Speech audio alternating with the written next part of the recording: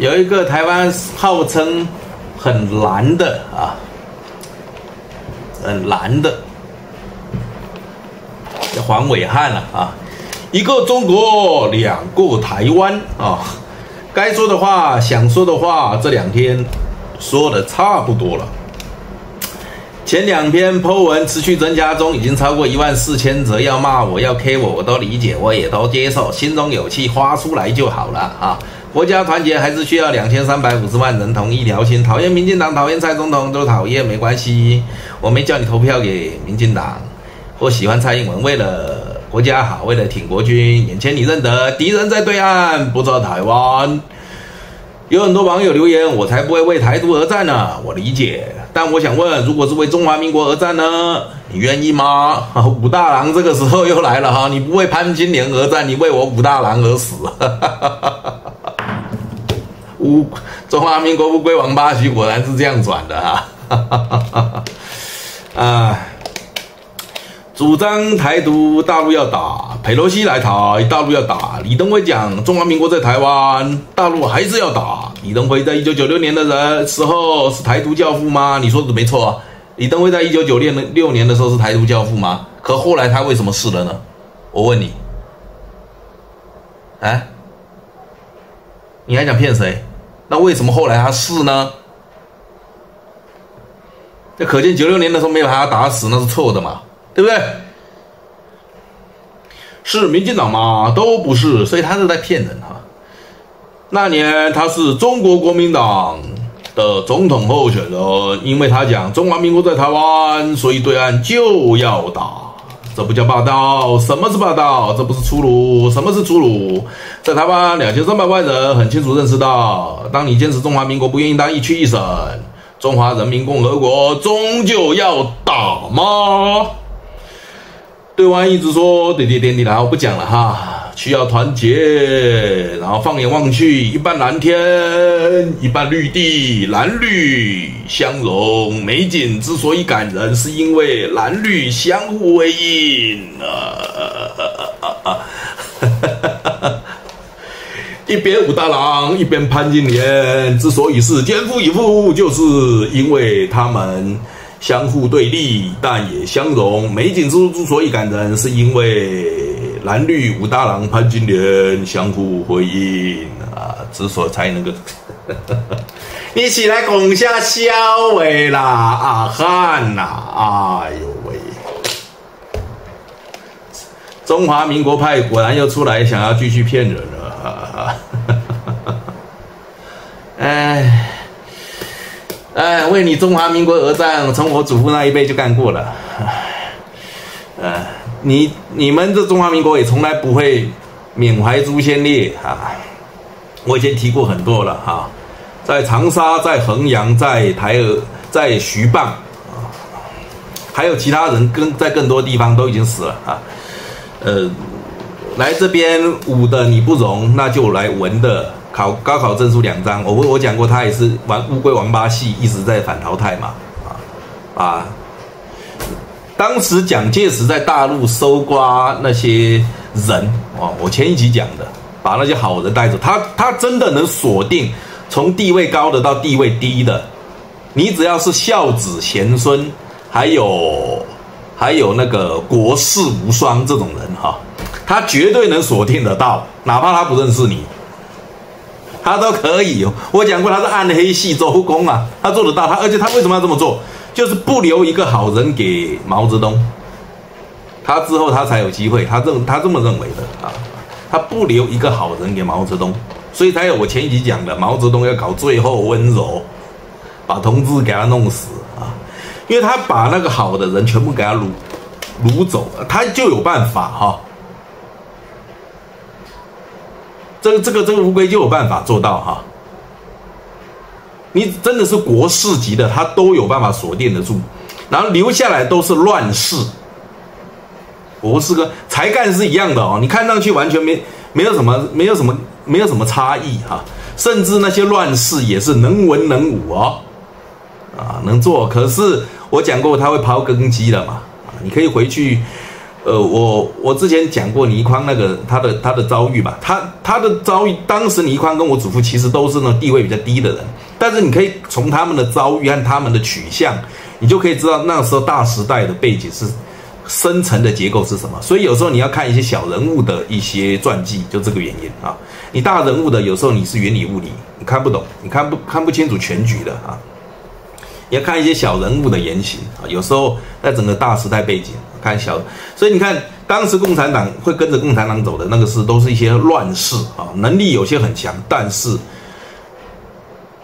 都是很多是内心是乱成贼子，他会抛你的根的。所以我我我前几集我提过，毛泽东搞最后温柔就是这个原因，因为他知道完蛋，好人全部被国民党裹挟走了啊，他就能做到分上中下三种人啊。上上层的人蒋介石直接认识的，我讲过戴季陶嘛，啊，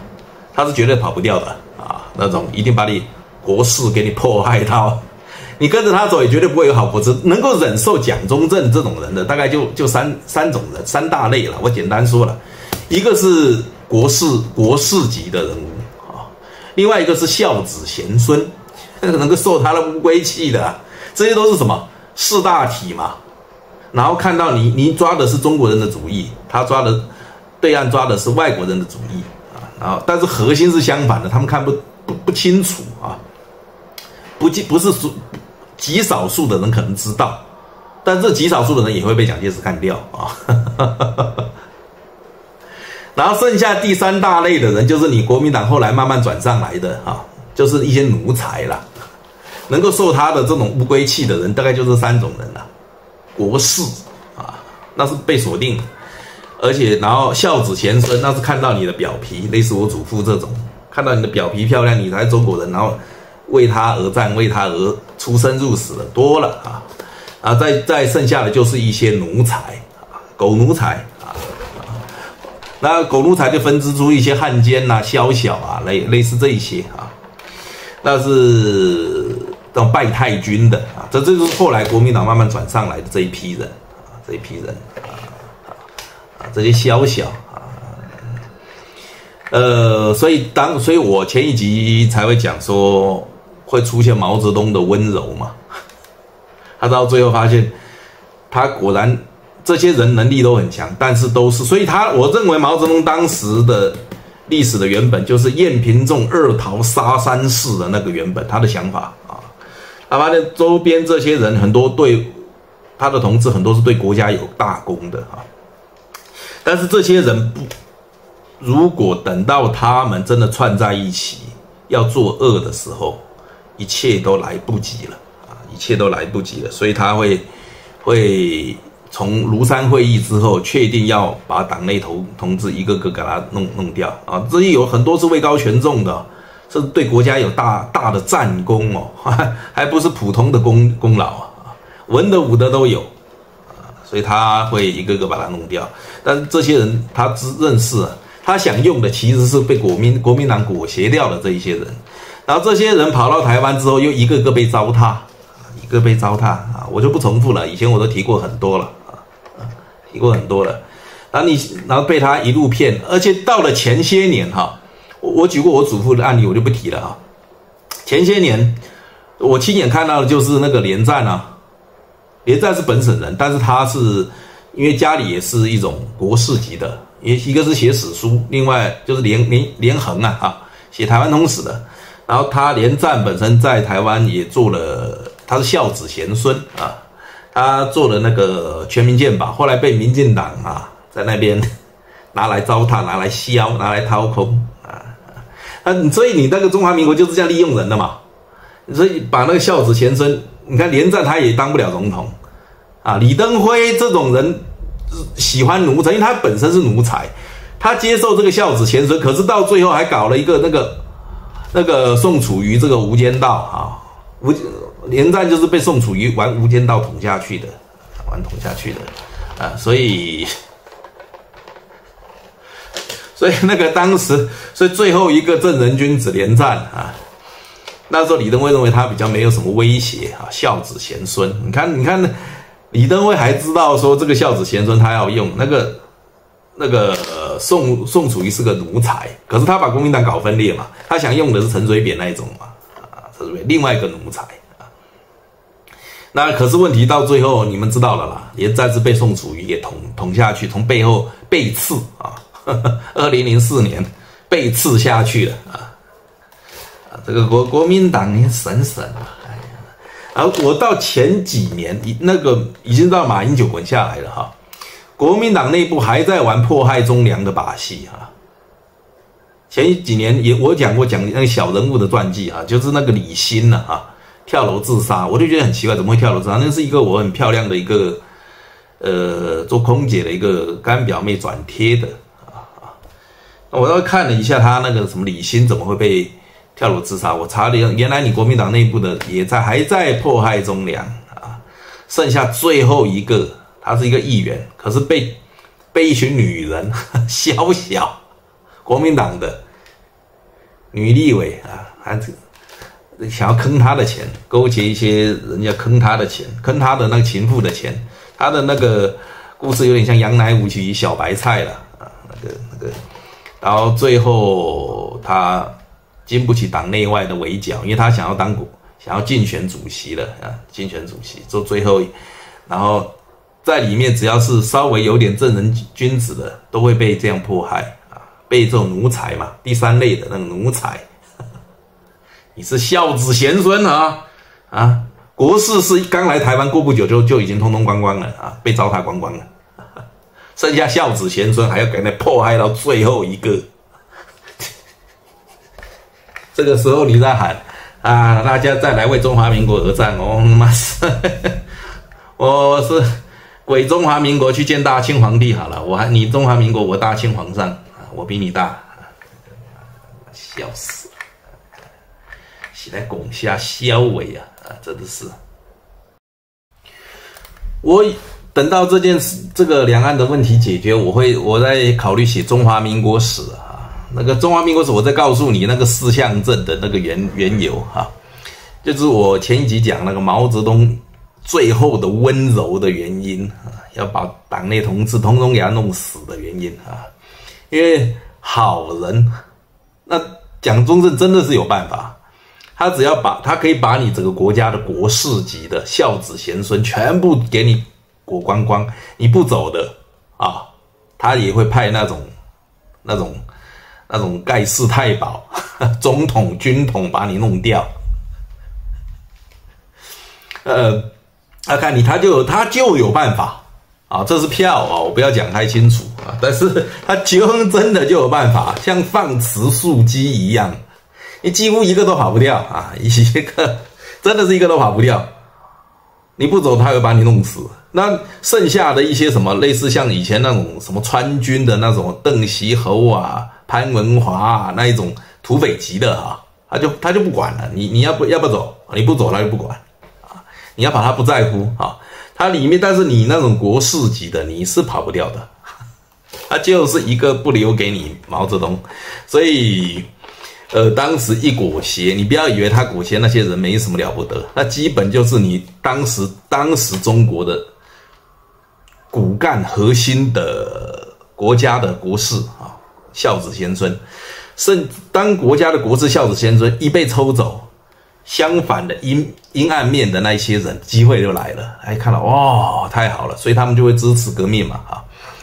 呃，就会我讲过，从小人物的那个倪匡的人物传记，我之前为什么要讲？就是你从看他的背景，你就可以知道他是排在后面的乱世，有能力哦。那在毛泽东身边的是已经排上队的啊啊，他他他们凋零，就是类似倪匡那一种的人会补进来，所以等于是源源不绝。因为你核心骨干被抽走了，抽走了，呃，所以那时候毛为什么我讲过他之前我看毛泽东传记，我是气的要，我是觉得这个人真的那么糟糕啊，真的是怎么会这么坏啊？你的我不讲上山打游击的事吗？还要讲那些批斗的啊，整天批斗，你都已经坐在那位置上，后来发现哈不是哈，真实有另外一。一个一个背景性景象的，你只要看我那个四象阵就知道了啊，回去找那四象阵就知道了。他哪怕那些叫得上名字的啊，刘少奇啦啊，彭德怀、贺龙、林彪这一些全部哈，有些是对国家有大功的哈，都是乱世，一点不用怀疑。那他一直在心里一直心心念念的，其实毛心心念念是想要的是那他他懂中国历史，他真懂啊，他想要的就是那个被蒋介石裹掉的那一批人。啊。所以那个什么那个时候，张治中跑过来搞那个什么，那个国民党革命委员会啊，但是他这一批是宵小，他还是给他当八大民主党派之一哈，就是原因就这个，他想要说你们会还有没有什么好货在里面，结果一个都没有啊，那 个好货他不会给他跑的，你放心，毛泽东、蒋介石他不会让他不会让他跑的，全部裹到台湾去啊。不把你糟，然后过来就一个个给你糟蹋掉，利用完糟蹋，利用完糟蹋，好东西给他这样糟蹋，好人给他这样这样糟蹋掉了。所以等这个结束之后，我再再写这个中华民国史，我就列上去。真正核心游戏是这个，所以那个毛一直想的，其实那一篇，但是他嘴巴绝对不可能讲了嘛，说我想要用国民党反动派，这怎么可能？可他心里知道啊。你们，这些都已经排排长大排长龙，要挤进党内，那个一一路排到类似倪匡那一辈的人，啊，那他开始要强一个个弄。所以我我前面讲过，他乱世是怎么回事，很有能力，但是他会抛你的根基，对不对？呃，它可以需要的时候取暖的时候，把你的桥都拆掉了，然后还会养狼狗，对不对？它是最经典的。啊，它是最典型的啊，最典型的。但是你要他拿出本事的时候，他拿得出来哦，能文能武哦，什么都行哦，研究科学都行哦，啊，通通都行哦，啊。但是就有就有问题啊，像中国有三大战神啊，我举我举一个例子你就知道了。中国古古典啊有三大很会打仗的三大战神，白起、韩信跟岳飞啊，其中两个就是乱世。另外一个是孝子贤孙，你知道是谁了？前面两个都是乱世啊，只有岳飞是忠肝义胆、孝子贤孙啊，是受教的啊。前面两个是就是乱世啊，所以你就清楚了。这是他可以把你的根基抛到什么程度？毛自己亲自遇到了，引一直上一直引诱你，用套你的话，到最后让你把文字都改掉，变成拼音化。它数量实在太多了，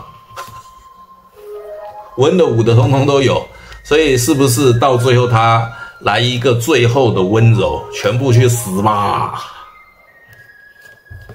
我后来才看看懂，看懂啊，所以在我在《黄道无间》第三部的时候就会补这一段啊，补这一段，对他知道情况复杂啊。记得以前好像大陆有一个讲讲春秋的那个戏剧，有演燕平仲二桃杀三士啊，就是其实就是那个最后的温柔了。毛泽东的原型是从那个故事引过来，他的那个大批斗，只是他的规模大，死很多人而已，因为那个那个排队。国士无双，还有孝子先生，通通被搬走了啊，光光了，他就有办法锁定嘛，一个都不留，不走的就把你做掉啊。那一个都不留，然后那剩下的当然都是都排队进他的那个党内了啊，进共产党党内。那他的那个呃，大陆那个他的原型应该就是想到那一幕啊，二二桃杀三士，就是。那个时候，我记得那那个戏剧他有演啊，就是晏婴，你可以自自己去查啊。晏平仲二桃三杀三士，我认为历史原型应该不是那么戏剧化了，应该是拿拿武器哈，叫一堆武士包围，让他们自尽啊，让他们自尽，逼他们死的啊。当然，那后来有也有演，就有人说问说你为什么要用这种方法，让他们都是对国家有功的人啊，你为什么用这方法？他。那个晏平仲就讲了，等他们这都都是那种乱世啊，等到他们准备要反的时候啊，准备要作乱的时候，串联在一起的时候，一切就来不及了，啊，一切来不及了，所以才会才会有最后温柔这个玩意儿。当然，除非历史是必要，不然的话也不会去动手去除那些人了，因为那个乱世他也是要有那个机会，这些乱世才会集合在一起，才会有成气候啊。不成气候的话，其实也无所谓，他反而很有能力啊，反而很有能力。这个 就是，所以当从这边角度再回过头来看，啊，你国民党最后的乌龟哀民，哎，黄伟汉，哎，所以你们看看历史的时候，你不要只看大人物的一个 决策哈，他的记录啊。你要在同大人物的同时，你要看看同一时期的小人物在他底下的时候发生哪一些故事，不同的就像有点像抽样，抽样做一个那才准啊，那那才能够还原它的整体原型。光只有大人物呢，你常常会误判啊，你会搞错啊，甚至搞错到好人跟坏人，你会你会你会看不清楚啊，所以，哎。啊，那就看看结果吧。我认为这一次军演，他现在军演已经不走了嘛，军演的就是常态化，那可能就是常态化到某一天啊，就另一个新常态就是登登上岛了，因为你现在已经没有海空自海自空了嘛，那现在就是上海的。